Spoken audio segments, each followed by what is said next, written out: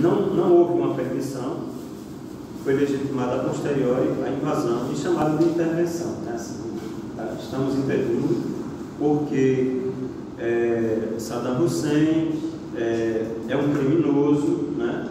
então ele jogou armas químicas lá nos curdos, na, na, população curda no norte né, do Iraque, né? é um criminoso e tal. É, os americanos eles sempre esquecem que eles sempre foram aliados de quem depois eles atacaram. Né?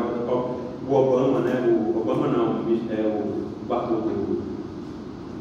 o, Osama Bin Laden, veio na cabeça Obama.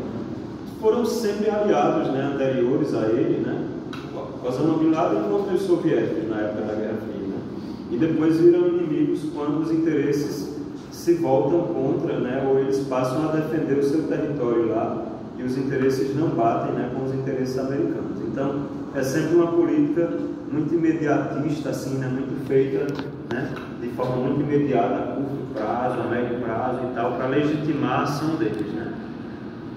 Então, veja, essas críticas que eu estou colocando, que o Carl Schmitt faz em relação a essa tradição kantiana, Kantia, a Hans Kelsen, né, a, a Norbert Bob e outros autores aí, né, é, elas são depois criticadas por Habermas. Né?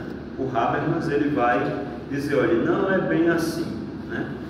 não é bem assim.